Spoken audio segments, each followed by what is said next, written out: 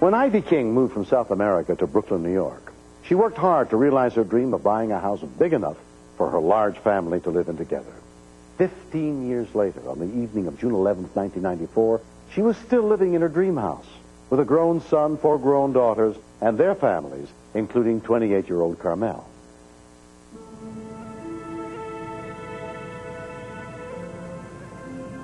This has been my home for years. You get attached. It's a part of you. That's like your comfort zone. This would be enough for now. How many potatoes you want in there? Like three. Ivy was in the kitchen on the first floor. I saw the smoke start gushing from the bedroom. And I just shouted and I says, fire, fire, fire.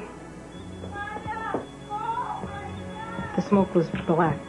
I mean, black smoke just gushing out of the room, so I knew it was serious. Diane, she was the favorite in the family. She was born mentally retarded. She would take care of the kids. The kids love her. I picked up the phone and I dialed 911. Police operator 2338, where's your emergency? No, Ellen, no, Ellen, there's a fire downstairs. Fire? Yes, come on, I tell you, come on, fire downstairs. Okay. Diane was standing in front of my bedroom door, and I said to her, go outside. Noella, Noella, come on, Noella, come on, come on. Between the time we realized the fire started and by the time we got out of the house, the whole house was just on fire. 16-year-old Noella is one of the oldest of Ivy's grandchildren. I thought everybody was outside. But then we started looking around. That's when we realized that Diane was missing. She wasn't outside, so she had to be in the house. And I thought, oh my God, she's going to die because at that point the fire had consumed the whole house. I felt guilty. I felt that I should have made sure that she came out of the house. Within four minutes of the call, the first New York City fire units arrived, including 11-year veteran Richard Palmer. A woman let us know that somebody was in back trapped in the parlor floor. I didn't have many options as to how to get to the building. I had to go through another building to get there. 3-5 Victor, I have a major bond for you. St. Mary's Hospital ambulance paramedic Denise King was also dispatched to the scene. We got a call for a burn. They didn't give us the location. They just said Eastern Parkway, New York Avenue.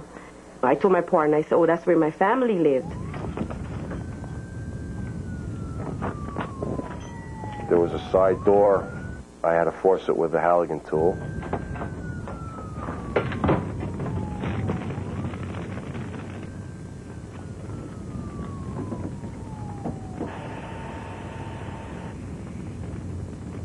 There was zero visibility, pretty hot. Most of the parlor floor was involved in fire. It was just so much smoke and fire through the whole house. I didn't think it was possible for her to survive all that. 99% of the times you crawl around a fire, you see nothing. You go 100% by touch. The most important part is to keep a mental track of where you are in the room in regard to getting out. When I entered the kitchen area, the fire was very close. Actually, it was probably starting to come into the kitchen itself.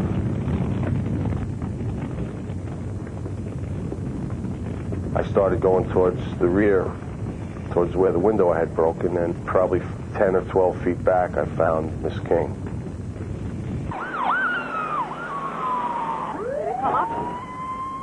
The job came up on the computer. Yeah, it came up. It's 295 New York Avenue. Oh, God, that's my family house. And I said, that's my mom's house.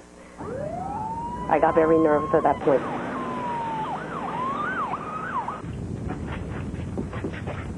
I couldn't go back, bring her out the way I had come in. There was a fence involved and too many stairs. 132 over to 280. I couldn't really determine if she was breathing. I checked for her pulse. She had a pulse.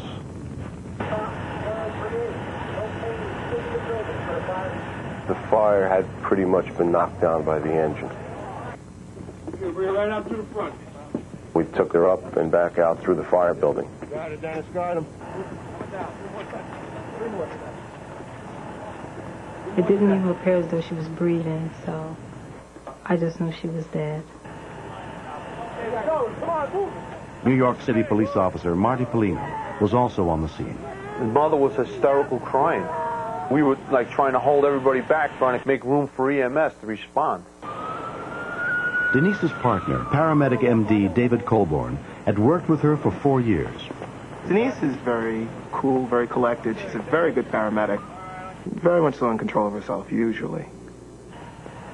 I saw my sister on the sidewalk. Oh my God, I can't do this. Oh no. I said, you know, Denise, we need you now. You know, your sister needs you. I remember saying okay, and I wasn't nervous anymore. I was just handling the call like, you know, I would normally handle a call. It was still my sister, but this is my job. I'm going to do my job and do the best I can. Daddy's. I don't think I could have done it. She was very brave. Her respirations were suppressed. She was covered in soot. Her hair was burned. As we get her to the ambulance, her respiratory rate ceased. Was she breathing at all when you got there? She was very combative. We restrained her and we attempted intubation, but she pulled the tube out and we just continued to bag. It was very hard being calm, very hard. I was praying the whole time. Okay. We got a 29 year old. Diane was taken to the trauma center at Kings County Hospital, where emergency physician Richard Sinnert took over her care. She's found unconscious, uninspired. When she arrived, she was quite disoriented, but her vital signs were stable, and she was breathing at a normal rate. Can I speak to the director of the hyperbaric chamber at Bronx Municipal? We did tests, and it showed that she had a significant carbon monoxide poisoning. We needed to effect a uh, treatment rather quickly. Diane was transferred to Bronx Municipal Hospital, where she was put in a hyperbaric chamber to lower the dangerous levels of carbon monoxide in her blood. Okay, 60 feet, you're on bottom. She was hospitalized for seven weeks. Five months later, 30-year-old Diane King is doing well. The family lost everything they owned, but not their strength to continue. I think they have a hard road ahead of them, but I think that because of the natural dynamics that they have and the love that they have for each other, they'll be able to do very well in the future, even though this minor setback is taking place for them. It was subsequently determined that the fire was caused by a short in the electrical wiring. The house and the stuff in the house is material. We could always replace that. So the best part was that Diane turned out okay and everybody was alive.